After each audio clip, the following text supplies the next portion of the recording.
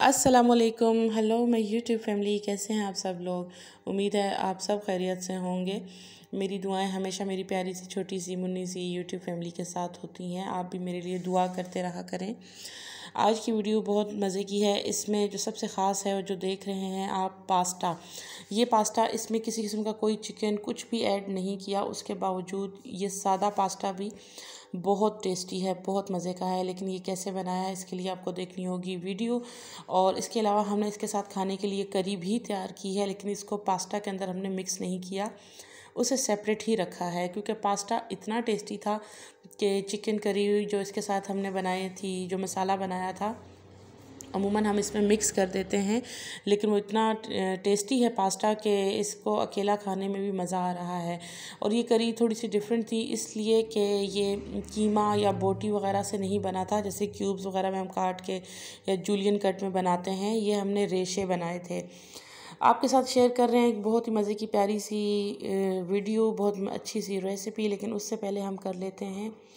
आज की प्यारी सी और इंतहाई मुख्तसर सी बात और वो ये है, रसूलुल्लाह सल्लल्लाहु अलैहि वसल्लम ने फरमाया, लोगों में अल्लाह के क़ुर्ब का ज़्यादा मुस्तक वो है जो सलाम करने में पहल करे। बहुत ही प्यारी छोटी सी बात है और बहुत ही खूबसूरत है और अगर आप इंतज़ार में होते हैं, आज तक अगर ऐसा कभी होता है कि आप इंतज़ार में होते हैं कि कोई सलाम करेगा तो मैं भी कर लूँगा या कर लूँगी तो पहल कर लिया करें, देखें। कोई इसमें मुश्किल या मेहनत कुछ भी नहीं होती। और बैठे बिठाए इतना अच्छा सवाब, छोटी सी एक आदत पर आपको मिल जाएगा। खैर, अब चलते हैं हम वीडियो की तरफ़। बहुत ही मज़ेदार, प्यारा सा रंग था इस चिकन का, इस करी का।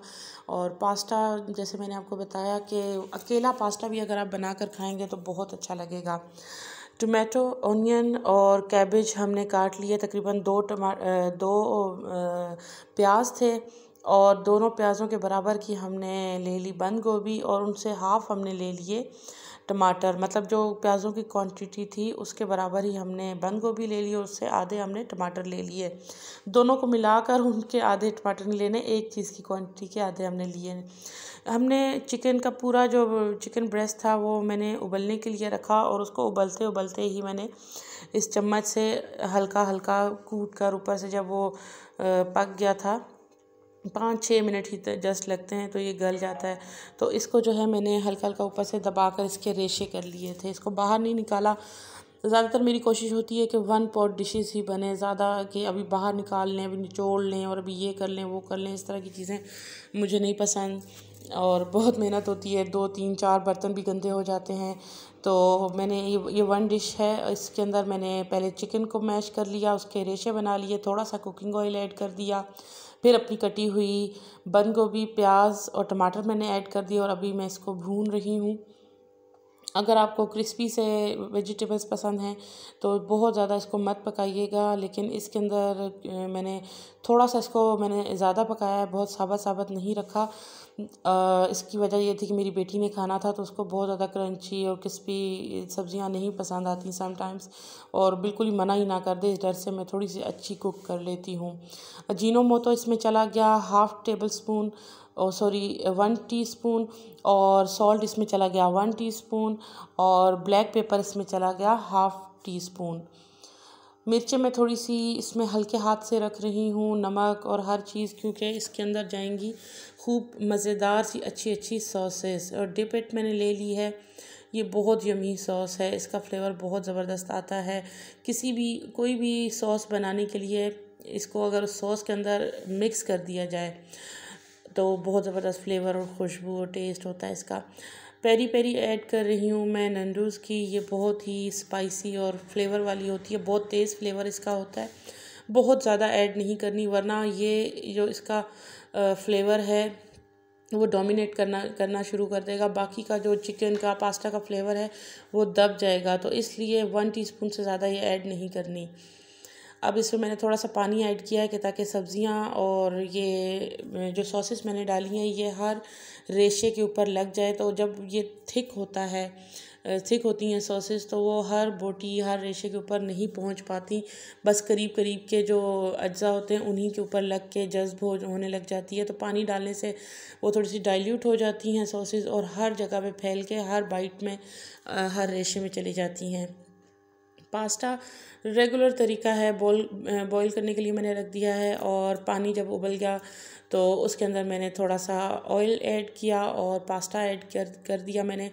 दो तरह का पास्ता मैंने ऐड किया क्योंकि एक पास्ता जो था वो थोड़ा कम था और दूसरा बिल्कुल कम सा बचा हुआ था तो मैंने दोनों को ही ऐड कर दिया। आपको नज़र आ रहा होगा, एक जो है एल्बो मैक्रोनी है और दूसरा जो है वो है स्पायरल तो ये दोनों को मैंने मिलाकर इसको उबाल लिया खूब अच्छी तरह से और इसमें मैं ऐड कर रही हूँ देसी घी। देसी घी मैंने इसमें ऐड किया, आप बटर भी ऐड कर सकते हैं, ब्लू बैंड लेकिन इसका फ्लेवर जो है ना देसी घी के साथ जो बनता है वो बहुत आउटस्टैंडिंग होता है, करके देखिएगा बहुत ज़बरदस्त होता है। अजीनो मोतो तकरीबन वन टीस्पून इसके ऊपर भी चला गया। और अब चले गए इसके ऊपर तकरीबन हाफ़ टी स्पून हाफ़ से थोड़ा सा ऊपर था मतलब फुल टी स्पून नहीं था, लेकिन हाफ़ से ऊपर था तो इसमें ब्लैक पेपर चला गया। अब देखें कि ये चीज़ें जितनी भी इसमें डल रही हैं, बहुत ही यमी, ज़बरदस्त फ्लेवर देंगे।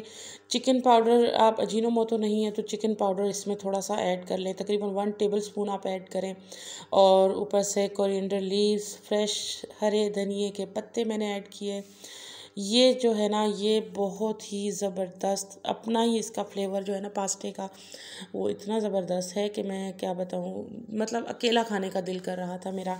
वरना तो बिल्कुल सादा सा होता है, लेकिन देसी घी, काली मिर्च अजीनो मोतो और ब्लैक पेपर का जो फ्लेवर था, वो बहुत ही ज़बरदस्त आ रहा था इसमें।